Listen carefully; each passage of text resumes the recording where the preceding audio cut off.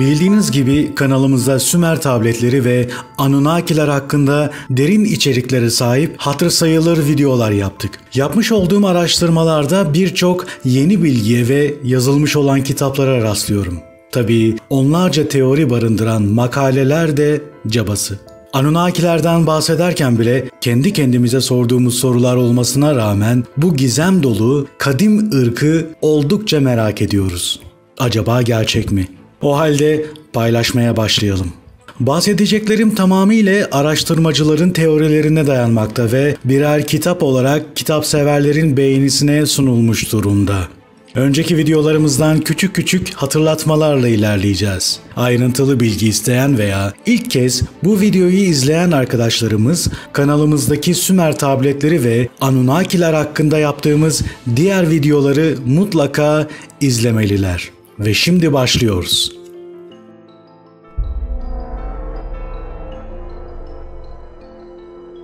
Enki'nin Kayıp Kitabı 445 bin yıl kadar önce başka bir gezegenin astronotları altın aramak amacıyla dünyaya geldiler. Dünyanın denizlerinden birine iniş yapıp kıyıya çıktılar ve Eridu'yu, uzaklardaki yuvayı kurdular. Zaman içinde bu ilk yerleşim bir uçuş kontrol merkezi, bir uzay limanı, madencilik operasyonları ve hatta Mars'ta kurulan bir ara istasyonla birlikte tam bir dünya misyonuna dönüştü. İş gücü açısından az sayıda olan astronotlar, ilkel işçiler, homo sapiens oluşturmak için genetik mühendislik uyguladılar. Yeryüzünü devasa bir afetle silip süpüren tufan taze bir başlangıç yapmayı gerektirdi. Astronotlar tanrılara dönüşürken insanoğluna uygarlığı bahşedip ona nasıl tapınacağını öğrettiler. Derken elde edilen her şey dünyaya gelen bu ziyaretçilerin kendi aralarındaki rekabet ve savaşlar sebebiyle ortaya çıkan bir nükleer felaket yüzünden yaklaşık 4000 yıl önce darmadağın oldu. Dünya üzerinde meydana gelenler, özellikle de insanlık tarihi başladığından beri olan olaylar, araştırmacılar tarafından kitabı mukaddesten, kil tabletlerden, kadim mitlerden ve arkeolojik keşiflerden teker teker ayıklanıp yazarların Dünya Tarihçesi adlı dizisinde bir araya getirildi. Ama dünyada yaşanan olaylardan önce neler olmuştu? Bu astronotların kendi gezegenleri Nibiru'da neler olmuştu da uzay yolculuklarına, altına duyulan ihtiyaca, insanoğlunun oluşturulmasına yol açmıştı.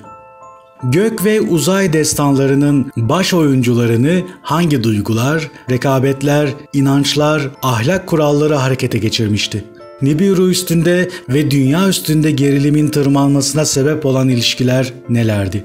Yaşlılarla gençler, Nibiru'dan gelmiş olanlarla dünyada doğmuş olanlar arasındaki gerilime sebep olan neydi? Geçmişteki olayların kaydının geleceğin anahtarını taşıdığı bir kader tarafından belirlenmekteydi. Bilginler de ilahiyatçılar da İncil'de geçen yaratılış, Adem ve Havva, Aden bahçesi, tufan, Babil kulesi hikayelerinin aslında binlerce yıl önce Mezopotamya'da özellikle Sümerler tarafından yazılmış metinlere dayandığını kabul etmektedirler ve Sümerler'de pek çoğu uygarlıklarının başlangıcından önce hatta insanoğlu ortaya çıkmadan önce yaşanmış geçmiş olaylara ilişkin bilgilerini Anunnakilerin yani gökten dünyaya inmiş olanların yazılarından elde ettiklerini açıkça belirtmişlerdi. Tabi Anunnakiler Gılgamış destanında da yer alıyor. Merak edenler kanalımızdaki Gılgamış destanı videolarını incelemeye alabilirler. Kadim uygarlıkların yıkıntıları arasında özellikle de yakın doğuda yaklaşık 150 yıldır sürdürülen arkeolojik keşiflerin bir sonucu olarak çok sayıda bu tür daha eski tarihli metinler bulundu. Buluntular ayrıca ya keşfedilen metinlerde sözü edilen kraliyet ya da tapınak kütüphanelerinde kataloglara kaydedildikleri için var oldukları bilinen kayıp metinlerin sözde kayıp kitapların ne kadar çok olduğunu da ortaya çıkarmış oldu. Tanrıların sırları bazen destansı hikayelerde kısmen de olsa ortaya serilmekteydi. Gılgamış destanı, tanrıların insanoğlunun tufan sırasında yok olmasına izin veren kararına yol açan aralarındaki tartışmaları açığa çıkartmıştı. Atrahasis adlı başka bir metinde ise altın madenlerinde güç koşullarda çalışan Anunnakilerin isyanına nasıl olup da ilkel işçilerin yani dünyalıların oluşturulmasına yol açtığı hatırlanmaktaydı.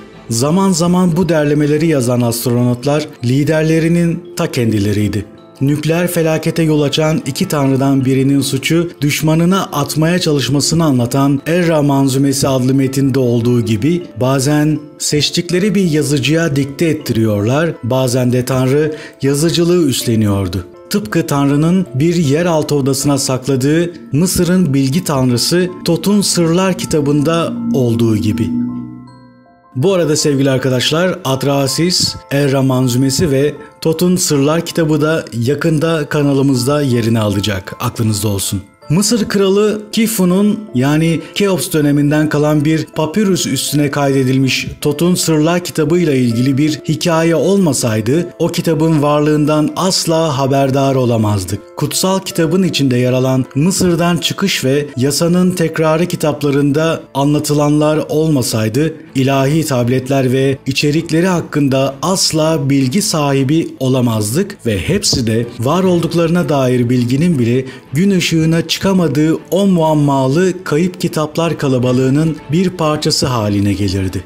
Bazı durumlarda belirli metinlerin var olduğunu bilmek ama içerikleri hakkında hiçbir şey bulamamak da az acı değildir. İncil'de bilhassa sözü edilen Yahve'nin Savaşları kitabı ve Yaşar kitabı bunlardandır. İncil'i kaleme alanların bildiği daha eski tarihli metinler olan bu eski kitapların var oldukları sonucunu açıklayabiliriz. Yaratılış kitabının 5. bölümü bu Adem'in Toledot kitabıdır ibaresiyle başlar. Toledot terimi genellikle nesiller olarak çevriliyorsa da daha doğru olan anlamına tarih veya secere kaydı şeklindedir. Diğeri ise Yaratılış kitabının 6. bölümünde Nuh ve tufanla ilişkili olaylar bu Nuh'un Toledo'dudur diyerek anlatılmaya başlanır. Gerçekten de Adem ve Havva kitabı olarak bilinen bir kitabın bazı parçaları Ermeni, Slav, Süryani ve Habeş dillerinde binlerce yıl boyunca varlığını sürdürebilmiş ve kutsal kabul edilen İncil'e dahil edilmeyen güya uydurulmuş kitaplardan biri olarak görülen Hanok kitabından bilgilerin çok daha eski tarihli Nuh kitabından alınmış olduğunu düşündükleri parçalar yer almaktadır. Kayıp kitapların çokluğuna ilişkin olarak sıkça verilen bir örnekte Mısır'daki ünlü İskenderiye Kütüphanesi'dir. Önce 323'te ölen İskender'in ardından General Plotemi tarafından kurulan kütüphanede yarım milyondan fazla cilt yani kil, taş, papirus, parşömen gibi çeşitli malzemeler üstüne yazılmış kitap bulunduğu söylenmekteydi. Bu bilgi birikimini incelemek üzere bilgilerin toplandıkları bu büyük kütüphane M.Ö. 48'den başlayıp M.Ö. sonra 642'de Arap istilasına dek uzanan savaşlar sırasında yakılıp yıkıldı. Bu bilgi hazinesinden geriye kalan yalnızca İbranice Kitabı Mukaddes'in ilk 5 kitabının Yunanca tercümesi ve kütüphanede sürekli kalan bazı bilgilerin yazıldığı küçük kısımlardır. Önce 270 civarında 2. Plotemi kralının Yunanlıların Maneto dedikleri bir Mısırlı rahibeye Mısır'ın tarihini ve tarih öncesini derleme görevini vermiş olduğunu biliyoruz. Maneto şöyle yazmıştı. İlk başta yalnızca tanrılar hüküm sürdüler. Sonra yarı tanrılar ve en sonunda M.Ö. 3100 civarında Firavun hanedanları başladı.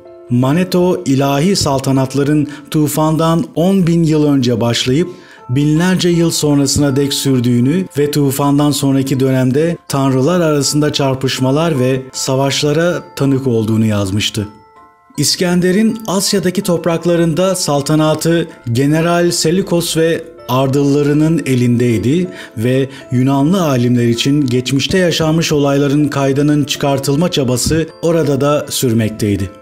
Babil tanrısı Marduk'un rahiplerinden biri olan ve çekirdeğini Harran'daki tapınak kütüphanesinin oluşturduğu kil tablet kütüphanelerine kolayca erişebilen Brossus, tufandan 432 bin yıl kadar önce tanrılar gökten dünyaya geldiklerinde başlayan tanrılar ve insanlar tarihini 3 cilt halinde yazdı.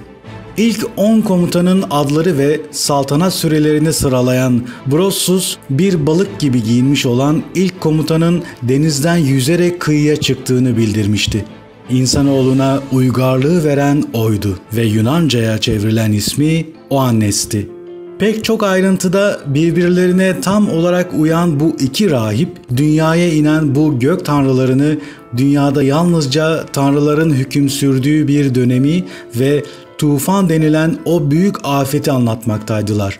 Bu üç ciltten korunabilmiş irili ufaklı parçalarda Brossus büyük tufandan önceye ait yazıların kadim tanrılar tarafından kurulan ilk şehirlerden biri olan Sippar denilen o çok eski şehirde güvenle saklanan taş tabletlerin varlığını bilhassa belirtmektedir. Tanrıların tufan öncesinde kurdukları diğer şehirler gibi Sippar'da tufan sularının altında kalıp yok olmasına rağmen tufan öncesi döneme ait yazılara ilişkin bir bahis Asur kralı Asur-Panibal'in tarih kayıtlarında su yüzüne çıkıverir. 19. yüzyılın ortalarında arkeologlar o zamana denk yalnızca eski ahitten bilinmekte olan kadim Asur başkenti Nineve'yi bulduklarında Asur Panibal'in sarayındaki kütüphanenin yıkıntılarında üstü yazılarla kaplı yaklaşık 25 bin adet kil tabletin kalıntılarını keşfettiler. Eski metinlerin pek hevesli bir koleksiyoncusu olan Asurpanibal, tarih kayıtlarında şöyle övünmekteydi. Yazıcıların tanrısı bana ilmin bilgisini bahşetti. Yazının gizlerine insiye edildim. Sümer dilinde yazılmış ayrıntılı tabletleri bile okuyabilirim. Tufandan önceki günlerden kalan taş yontulardaki muammalı sözleri anlıyorum.'' Sümer tanrılarının günümüzdeki Irak olarak bilinen bölgede Mısır'daki Firavun çağı uygarlığından neredeyse bin yıl önce gelişip büyüdüğü ve daha sonra bunları Hint alt kıtasındaki Indus Vadisi uygarlığının izlediği artık biliniyor. Ayrıca tanrıların ve insanların tarihlerini ve hikayelerini ilk kez yazıya geçirenlerin Sümer olduğu ve aralarında İbranların da bulunduğu diğer tüm halkların yaratılış, Adem ve Havva, Kayin ve Habil, Tufan, Babil Kulesi hikayelerini onlardan aldıkları bilinmektedir. Bu gerçek Yunanlıların, Hititlilerin, Kenanlıların, Perslilerin ve Hint Avrupalıların yazılarına tanrıların savaşları ve aşkları oldukça yansır. Tüm bu eski yazıtların iddia ettikleri gibi onların kaynakları da çok daha eski tarihli, bazısı bulunmuş ama çoğu kayıp olan metinlerdi. Böyle çok eski tarihli yazıların sayısı akıllara durgunluk verecek kadar çoktur. Yakın Doğu'nun harabelerinde binlerce değil, on binlerce kil tablet keşfedilmiştir. Pek çoğu ticaret, işçi ücretleri ve evlilik sözleşmeleri gibi günlük yaşamın çeşitli yanlarıyla ilgili kayıtlardır. Çoğunlukla saray kütüphanelerinde bulunan diğerleri ise kraliyet tarihi kayıtlarını oluşturmaktadır tapınak kütüphanelerinin veya yazıcılık okullarının harabelerinde keşfedilen diğerleri ise İncil kabul edilen veya Sümer dilinde yazılıp sonra ilk Sami dili olan Sümer'den bahsediyoruz. Akatça'ya ardından diğer kadim dilleri çevrilmiş bir kutsal literatürü oluşturmaktaydı. Neredeyse 6000 yıl öncesinden kalan bu ilk yazılarda bile kayıp kitaplardan yani taş tabletler üstüne yazılmış metinlerden bahsedilmekteydi.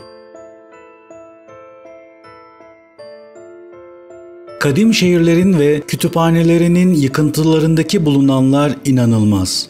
Bu mucizeyi anlatabilmek için şans kelimesi oldukça az kalır. Buluntular arasında kil prizmalar vardı ve bunların üstüne Brosus'un bahsetmiş olduğu tufandan önce 432 bin yıl hükümdarlık yapmış şu 10 idareciye dair bilgiler yazılmıştı. Sümer kral listeleri olarak bilinen ve İngiltere'nin Oxford kentindeki Ashmolean Müzesi'nde sergilenen bu metinlerin çeşitli versiyonları İncil'de ilan edilmiş metin malzemesinden yararlanabildiklerine dair hiçbir kuşku bırakmamaktadır bir o kadar eski olup çeşitli yıpranma düzeylerindeki başka metinlerle bir araya getirildiklerinde bu metinler oldukça önemliydi.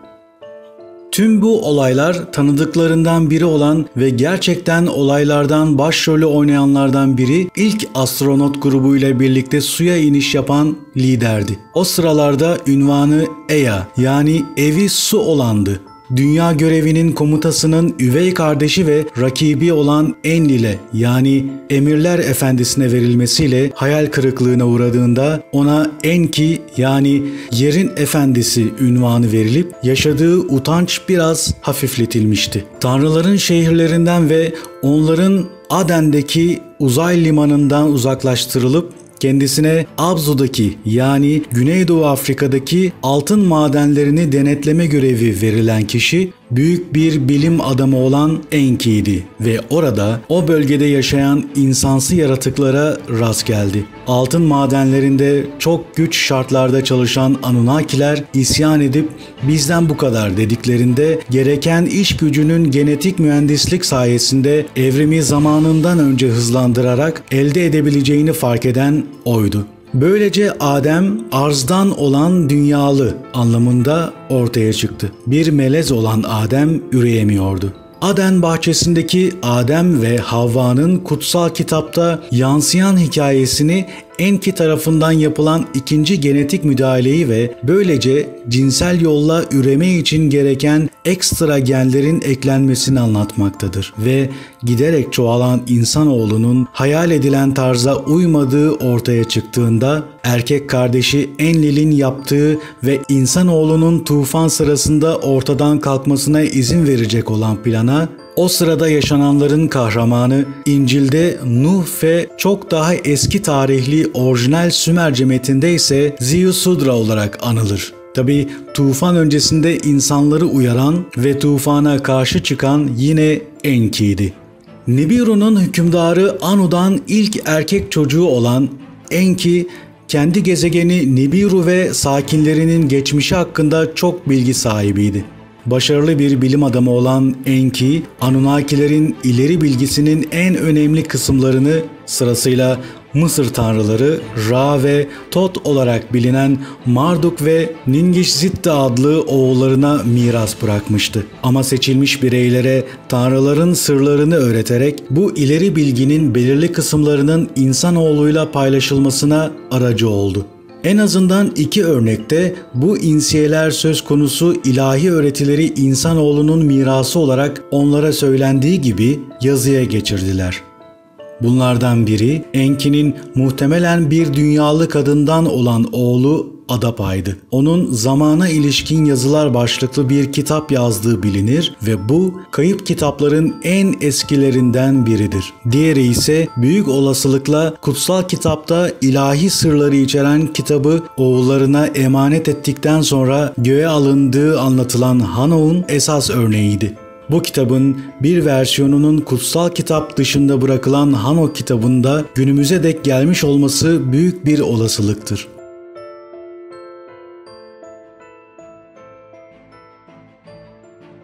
Anu'nun ilk erkek evladı olmasına rağmen Enki'nin kaderinde babasının ardından Nibiru'da tahta çıkmak yoktu. Nibirulların çapraşık tarihinden yansıyan karmaşık ardıllık kuralları bu ayrıcalığı Enki'nin üvey kardeşi Enlil'e vermekteydi.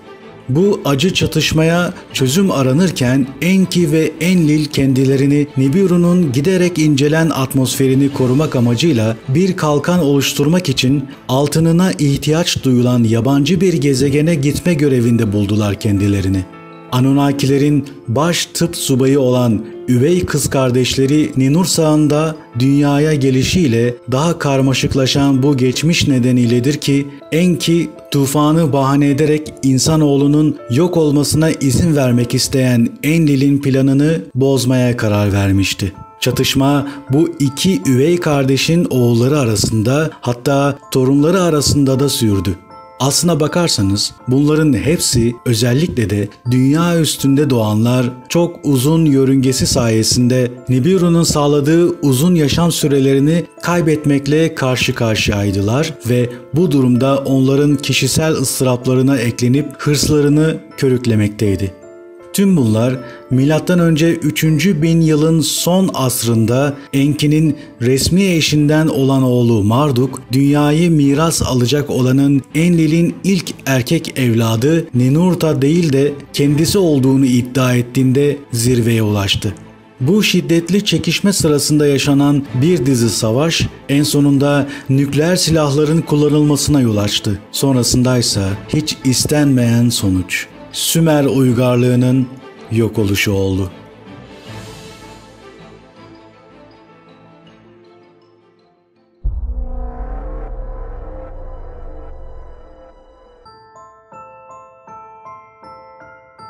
Seçilen bireylerin tanrıların sırlarına insiye edilmesine rahiplik kurumunun ilahi sözleri ölümlü dünyalılara aktarılanların tanrılar ve insanlar arasındaki aracılar silsilesinin başlangıcını belirledi. İlahi sözlerin yorumlanışları olan kehanetler, işaretler görmek amacıyla göklerin gözlemlenmesiyle birleşti.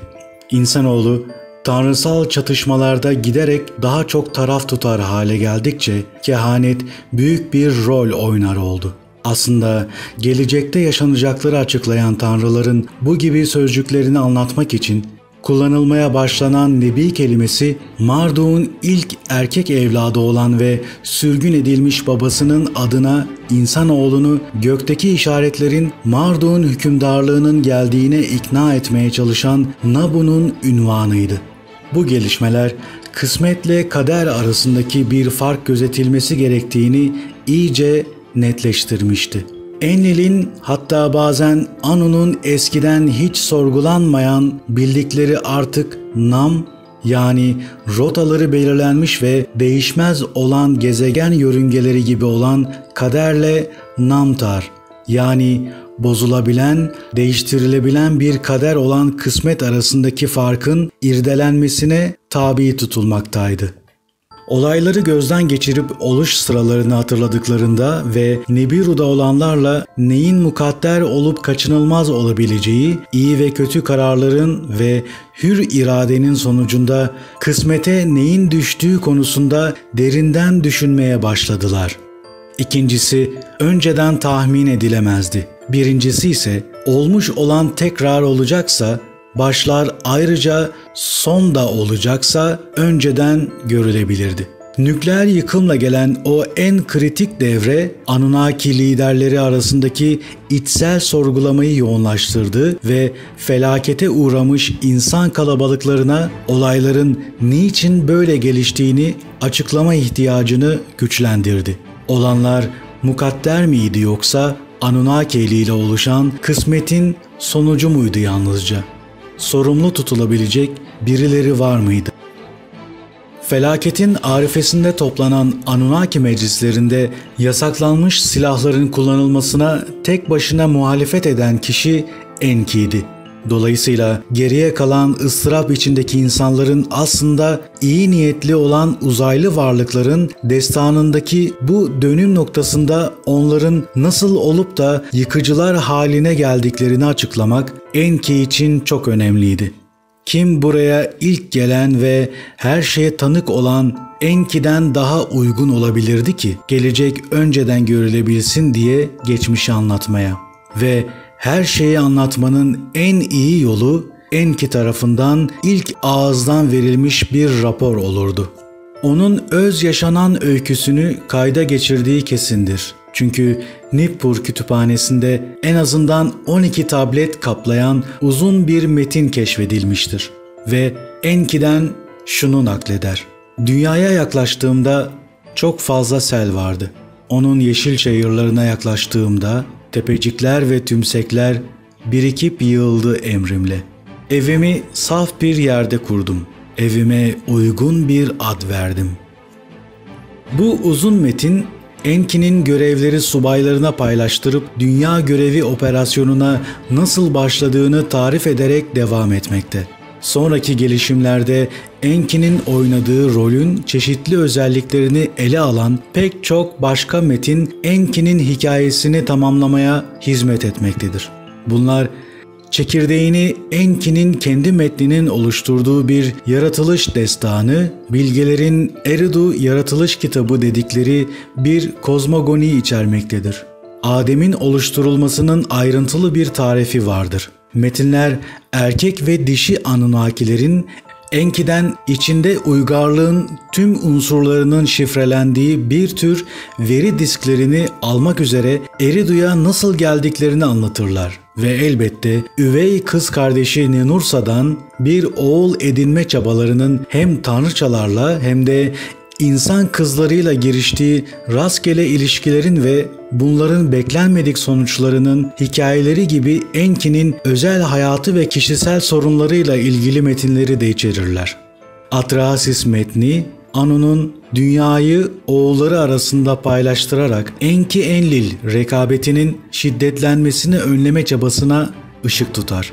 Metinlerde tufan öncesinde insanoğlunun kaderi hakkında Tanrılar Meclisi'nde yapılan görüşmelerin neredeyse tüm tutanakları kaydedilmiştir. Gılgamış destanı tabletlerinde orijinal Mezopotamya versiyonu bulunana dek yalnızca kitabı mukaddeste olduğu düşünülen bir hikayenin yani Enki'nin kullandığı ve Nuh ile onun gemisinin hikayesi olarak bilinen bahane de bunlarda yer alır. Sümerce ve Akatça tabletler, Babil ve Asur tapınak kütüphaneleri, Mısır, Hitit ve Kenan mitleri ve de kutsal kitapla anlatılanlar, tanrıların ve insanların maceralarının öz yaşam öyküsünün anılar ve öngörüyle dolu kehanetleri yeniden oluşturmak amacıyla araştırmacılar tarafından tarihte ilk kez bir araya getirilip kullanıldı.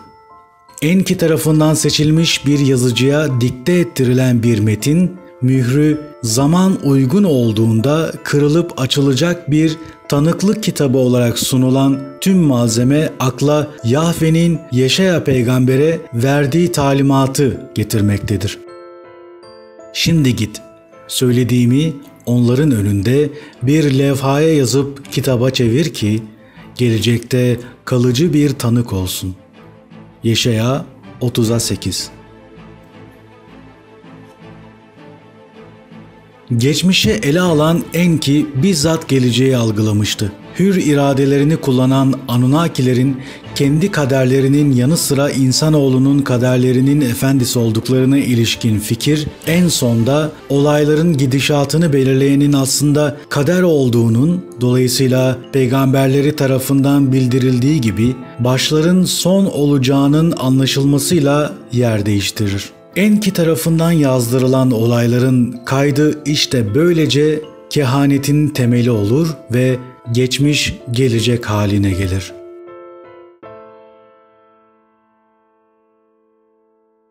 Yemin Büyük Tanrı'nın Efendi Enki'nin kulu, Erodu kentinin oğlu, usta yazıcı Edupsar'ın sözleridir. Büyük afetten sonraki 7. yılın 2. ayının 17. gününde Büyük Tanrı, insanoğlunun hayırlı biçimlendiricisi, her şeye gücü yeten ve iyiliksever efendim Enki tarafından çağrıldım. Kötülük rüzgarı şehre doğru yaklaşırken Eridu'dan çorak steplere kaçabilmiş olan az sayıda insanın arasındaydım. Ateş yakmak için çalı çırpı toplamak üzere kıra doğru uzaklaştığım bir sırada Başımı kaldırıp baktım ki ne göreyim. Güneyden bir kasırga çıka geldi. Çevresinde kırmızımsı bir parlaklık vardı ve hiç ses çıkartmıyordu. Yere eriştiğinde karnından dört tane dik ayak çıktı ve parlaklık kayboldu. Kendimi yere atıp yüzüstü kapaklandım. Çünkü bunun bir ilahi görüm olduğunu biliyordum. Başımı kaldırıp bakınca yanı başımda iki ilahi kişinin durmakta olduğunu gördüm. Yüzleri insan yüzüydü ve giysileri cilalı tunç gibi parlamaktaydı. Bana adımla seslenip şöyle dediler. Büyük Tanrı, Efendi Enki tarafından çağrılıyorsun. Korkma, çünkü kutsandın. Seni alıp göğe çıkarmaya ve onun Magan ülkesinde Magan nehrinin ortasında adanın üstünde savakların olduğu yerdeki meskenine götürmeye geldik. Ve onlar konuşurken kasırga ateşten bir atlı arabaymışçasına kendini yükseltip gitti. Her biri bir elimden tutup beni kaldırdılar. Beni yer ve gök arasında kartalların süzüldükleri gibi hızla taşıdılar.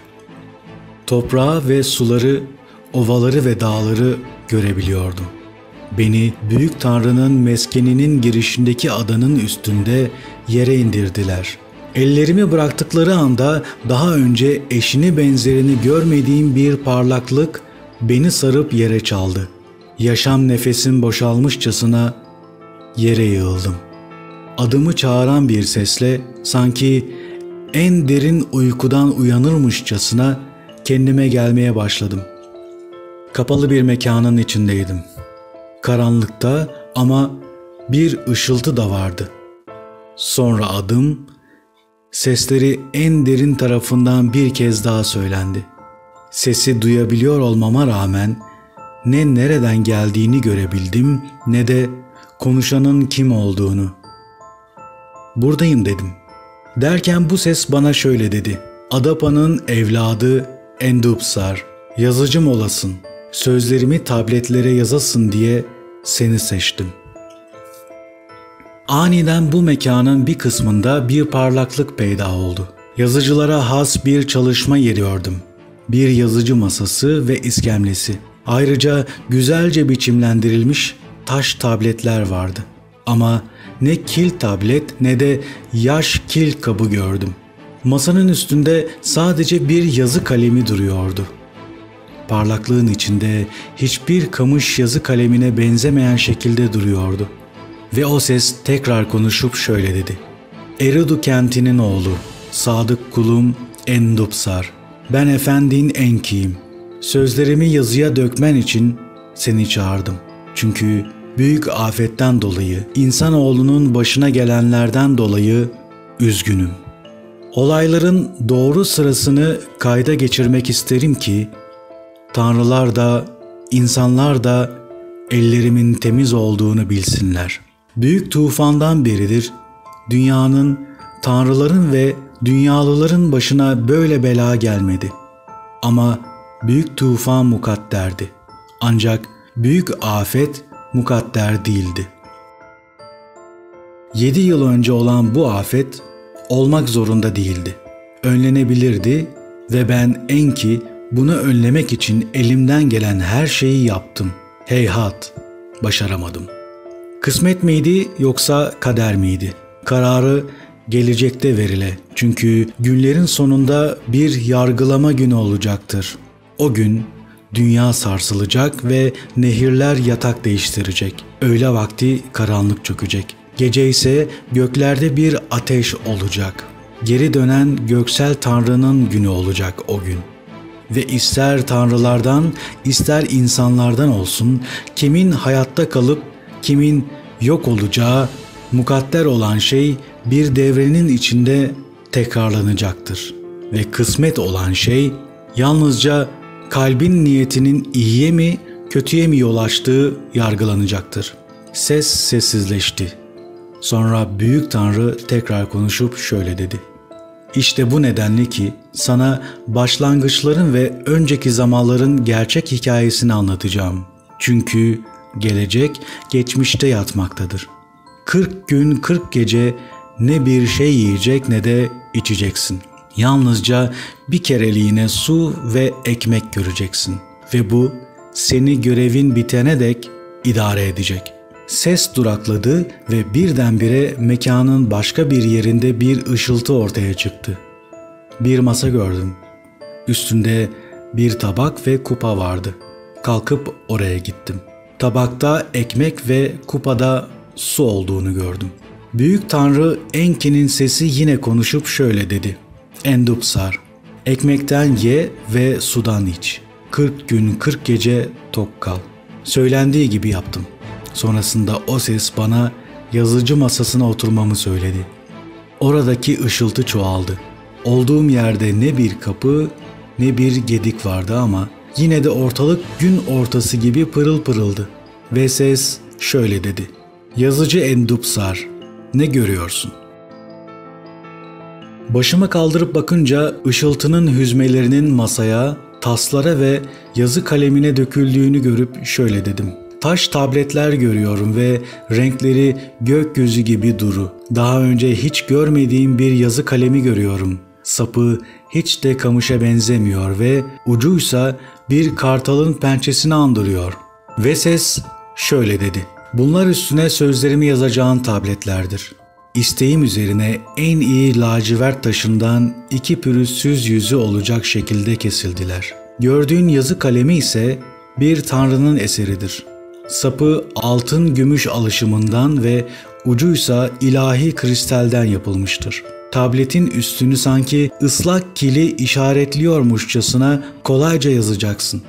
Ön yüze iki sütun halinde yazacaksın. Her bir taş tabletin arka yüzüne iki sütun halinde yazacaksın. Sözlerimden ve cümlelerimden sapmayacaksın. Bir duraklama olduğunda taşlardan birine dokundum. Yüzeyi pürüzsüz cilt gibiydi. Yumuşacık geldi elime. Kutsal yazı kalemini elime aldım. Tüy gibi hafifti. Sonra Büyük Tanrı Enki konuşmaya başladı ve ben onun sözlerini tam söylediği gibi yazmaya başladım. Sesi bazen gürdü, bazen de neredeyse fısıltı. Bazen sesinde neşe veya gurur vardı, bazense acı ve ıstırap. Ve bir tabletin iki yüzü de yazıyla dolunca devam etmek için diğerini aldım. Son sözleri söyledikten sonra Büyük Tanrı durakladı ve derin bir iç çekiş sesi duydum. Ve şöyle dedi. Kulum Endupsar, 40 gün 40 gece boyunca sözlerimi sadakatle kayda geçirdin. Görevin burada tamamlandı. Şimdi bir başka tablet al eline. Üstüne kendi yeminini yazacak ve sonuna ise mührünle tanıklık ettiğini gösteren işareti basacaksın. Tableti alıp diğer tabletlerle birlikte ilahi sandığa koy. Çünkü belirlenmiş bir zamanda seçilmiş olanlar gelip sandığı ve tabletleri bulacak ve sana yazdırdığım her şeyi öğrenecekler. Başlangıçların, önceki zamanların ve eski zamanların ve büyük afetin gerçek hikayesi bundan böyle Efendi Enki'nin sözleri olarak bilinecek ve bu geçmişe tanıklık kitabı ve geleceğin kehanet kitabı olacak. Çünkü gelecek geçmişte yatmaktadır ve başlar da son olacaktır.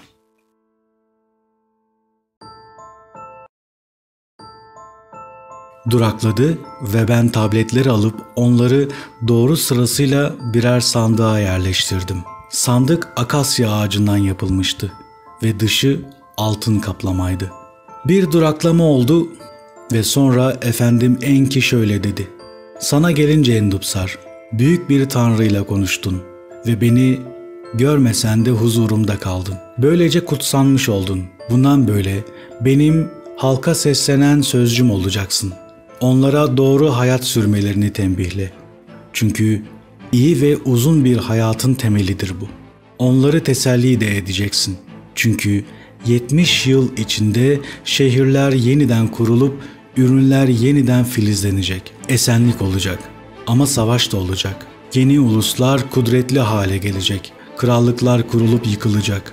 Eski tanrılar bir kenarı çekilecek ve kısmetleri yeni tanrılar belirleyecek.